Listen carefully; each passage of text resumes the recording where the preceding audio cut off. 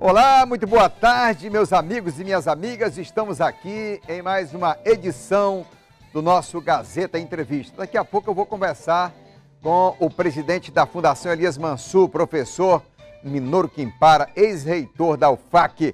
Vamos falar do trabalho da Fundação, sim, mas também de política. Fica ligado aqui. Professor Minoro, todos conhecem, tem uma história e uma tradição política já aqui em Rio Branco também. Agora, porém, eu tenho aqui é, dois recados importantes para você. Primeiro, a Ortotrauma, aqui em Rio Branco. Ela oferece atendimento ortopédico 24 horas por dia, todos os dias, para cirurgias ortopédicas planejadas ou emergenciais.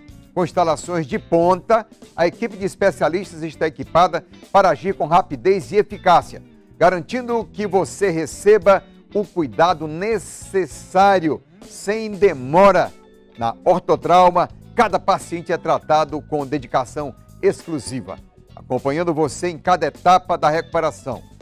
A ortotrauma é, atende vários convênios para garantir que nada fique no caminho da sua saúde. Com a ortotrauma, você tem a certeza, a convicção de um atendimento humano, personalizado e de excelência. Atende a qualquer hora. Comercial, tá bom? Para consultas eletivas sem hora marcada. Emergência 24 horas, porque a sua saúde merece o melhor na ortotrauma. Cada movimento, cada momento é precioso.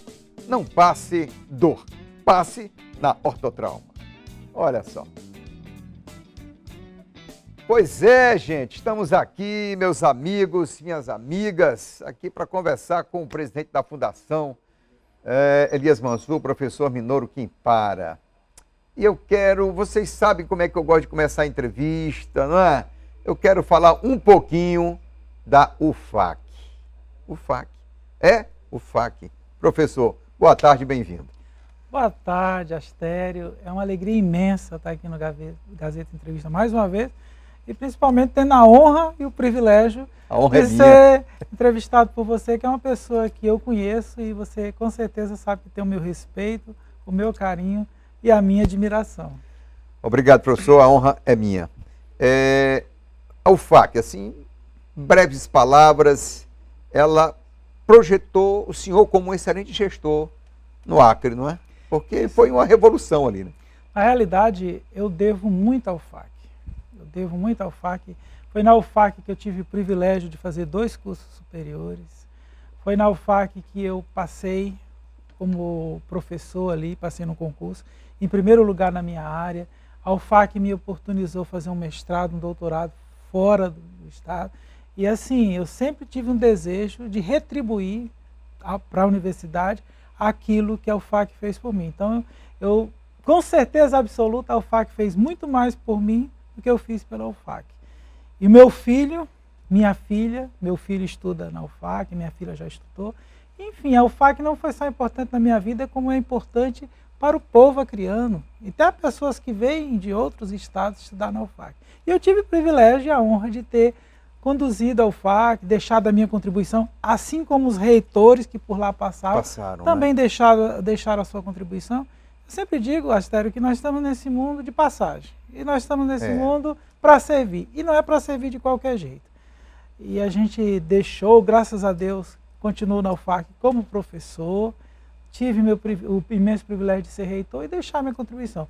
Não fizemos tudo, eu falo não fizemos, porque o que nós fizemos lá foi um trabalho em equipe. Ninguém faz nada de positivo é só. Sempre tem uma equipe, eu é como uma equipe, um Nosso time. programa, Gazeta Alerta, Gazeta Entrevista, Jornal à Noite, Balanço Geral, é equipe equipe se ajudando, equipe, a equipe é se muito somando, bom trabalhar com a equipe. E deixamos a nossa contribuição e eu fico feliz, porque a partir do trabalho que nós realizamos lá, as pessoas viram nossa seriedade, a nossa competência, o nosso esforço, a nossa dedicação de cuidar com aquilo, com aquilo que é público.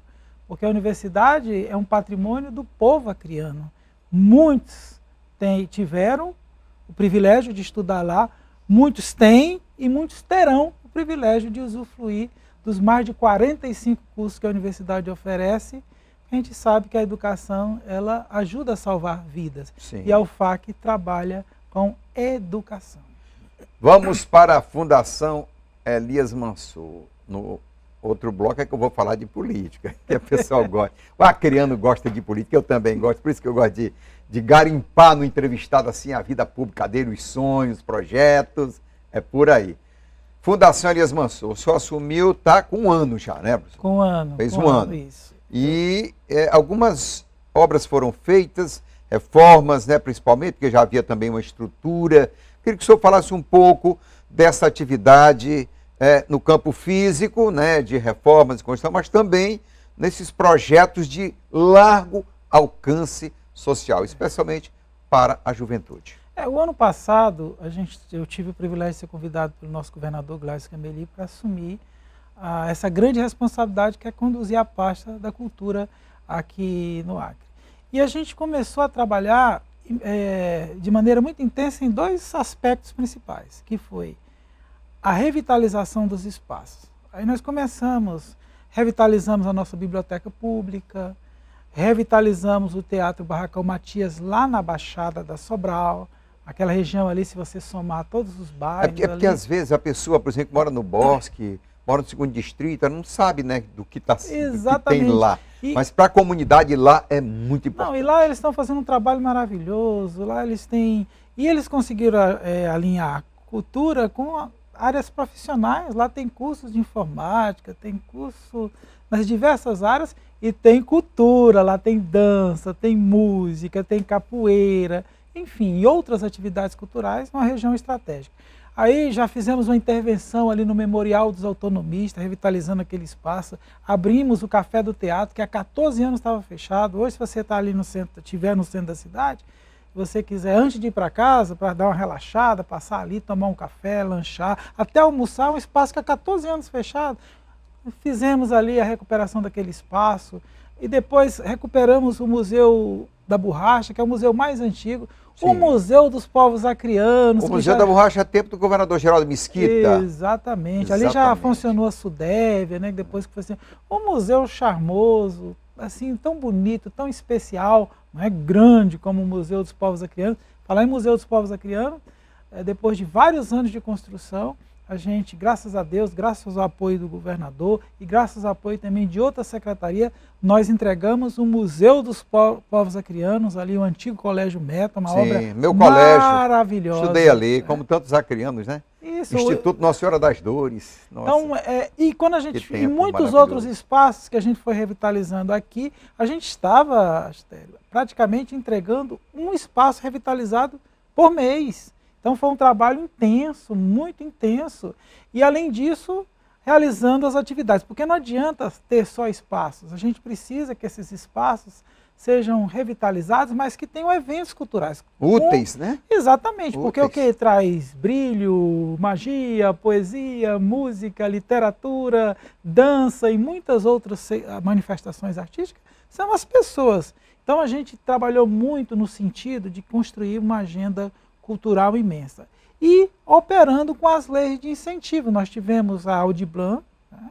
a foi, foi uma lei criada no período da pandemia, e a Paulo Gustavo, é, com recursos nunca vistos na história. Por exemplo, nós terminamos o ano passado apagando, passando para os fazedores de cultura, quase 3 milhões do Fundo Estadual de Cultura. Abrimos os editais já de, na ordem de 22 milhões da Lei Paulo Gustavo, que é uma lei federal e agora, o processo, já começamos agora em janeiro a pagar os recursos da Lei Paulo Gustavo e provavelmente a partir de março nós já vamos começar a lançar os editais com da Lei Audiblan 2, Audiblan 2. E é impressionante, são mais 16 milhões. Então, se nós somarmos aí 3 milhões do Fundo eh, Estadual de Cultura, mais 22 milhões da Lei Paulo Gustavo, 25. mais 16 milhões da lei, nós temos aproximadamente 41 40 milhões. milhões. Isso é um recurso nunca visto na história este da cultura do, do Acre. aplicado, ele é prestado conta. É, prestado conta, todos têm que prestar em conta, porque é recurso conta. público, Sim. mas a gente precisa prestar conta não só para os órgãos de controle, mas a gente precisa prestar conta para a população. Porque quando nós pagamos o os resultado. nossos. É, quando nós pagamos os nossos impostos, aí a gente diz, eu queria uma educação, eu quero uma educação de qualidade para meus filhos, porque eu pago imposto.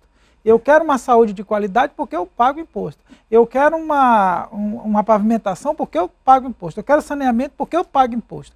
Quando a gente pega esse recurso, que é fruto de, de da, da, contribuição, é recurso público, e coloca à disposição dos fazedores de cultura, a gente, a população também quer. A população quer mais teatro, a população quer mais literatura, a população quer mais capoeira, a população quer mais fanfarra. Atividades culturais. Atividade né, que é o retorno. Então, esse dinheiro, esse recurso, não foi simplesmente para colocar na conta do fazedor de cultura para ele tocar a vida, não. Ele precisa dar um retorno então, são 41 milhões aproximadamente que estarão sendo disponibilizados e que a população é que precisa ganhar com, com isso. E a população vai cobrar e com certeza está certa de cobrar.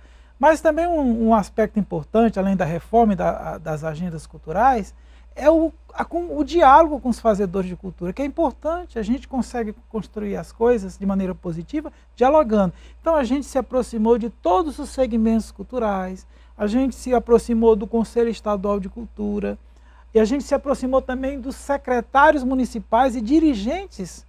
Essa aproximação foi tão boa que a gente conseguiu realizar, depois de 10 anos, a Conferência Estadual de, de Cultura, que há 10 anos não se, fazia. não se fazia. E a Conferência Estadual de Cultura é o momento que a gente escuta a população, que é, um momento, é uma instância é, decisiva, onde as pessoas contribuem, dizem o que querem. E gestão a gente tem que sempre fazer assim respeitando, ouvindo as pessoas que entendem. Isso então isso foi salutar. Todos, né? E ajudamos também as conferências municipais. O Acre, diga-se passagem, foi o primeiro estado a aderir 100% à, à política nacional Audiblan, que é uma coisa maravilhosa. E o que, que significa isso na prática, essa adesão?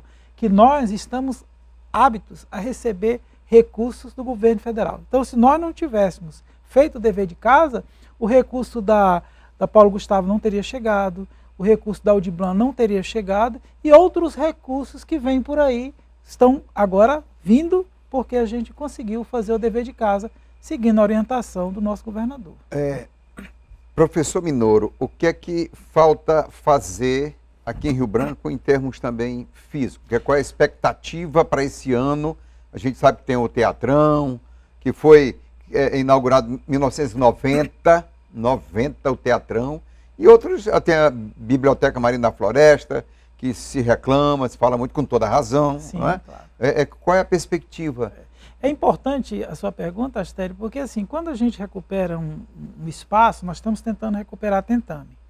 Quando eu, eu, às vezes, publico, coloco nas redes sociais lá que a gente está recuperando Tentame, as pessoas começam a se manifestar, não, olha, mas eu, as pessoas mais com certa idade dizem, não, mas eu já pulei carnaval, já dancei aqui, eu já participei de uma atividade aqui. As pessoas acabam é, tendo uma identidade com aquele local.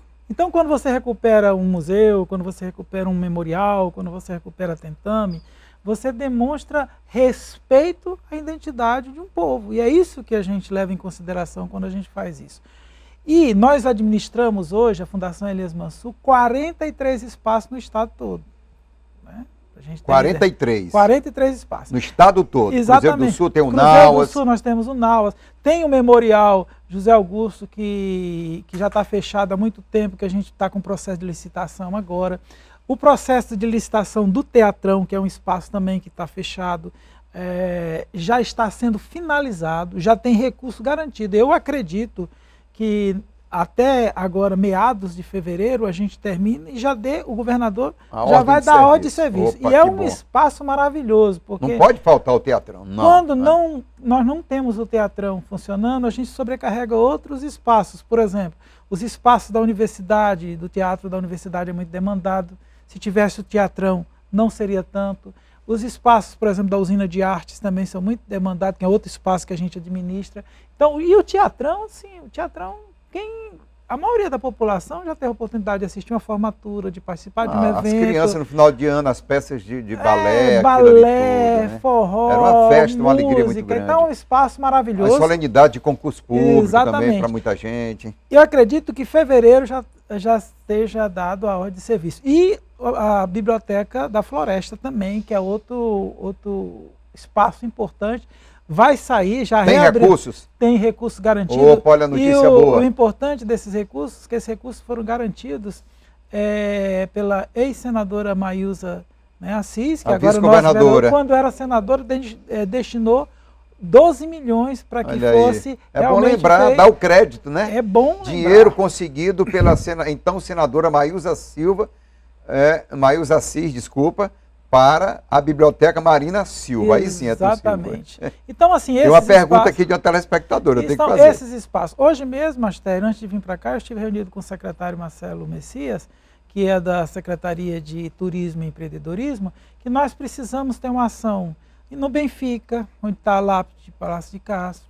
Nós vamos recuperar ali no Quixadá a parte da capela, porque o restante é- é- é- é cinematográfico, então não é tombado, mas tem uma capela lá que é a segunda mais antiga A, a outra estado. parte quem vai recuperar então? Na realidade é o seguinte, ali foi uma, ali é particular. é, Ah, né? tá. O que, o que é A Rede Globo fez aquilo ali. fez ali e assim, às vezes até as pessoas dizem, ah, mas que ali foi feito para um filme. E inclusive algumas pessoas até reclamam, não, mas que a gente viu artefatos, não sei o que, espingarda, alguma coisa antiga, algum material antigo, aquilo ali foi é réplica. Aquilo ali foi feito para um filme. Tem nada original. Não tem nada, aquilo ali faz parte de uma área Cidade particular. cinematográfica. O que a gente vai cuidar, que é tombado, que é patrimônio, A é uma capela. capela, que é a segunda capela mais antiga do estado. A gente já vai fazer uma intervenção lá para resolver aquilo. E outros espaços que nós temos. Então, assim, a gente não conseguiu no primeiro ano, e era impossível recuperar Claro. 43 espaços, mas a gente está recuperando, vai continuar recuperando, vai investir nos editais para colocar recursos e intensificar nossa agenda cultural, que é importante para garantir que a população tenha música, tenha dança, tenha, tenha arraial, tenha muitas outras atividades que ajudam a nossa alma, a nossa vida, nos Professor, mais felizes. eu tenho que fazer um intervalo aqui, mas tem uma pergunta que eu vou deixar no ar. Astério pergunta ao professor Minoro se há alguma possibilidade de haver um FEC, Festival Estudantil da Canção, para este ano. Eu vou perguntar também se ele é, está nessa disputa para a eleição municipal. É depois do intervalo, eu volto já. Sai daí.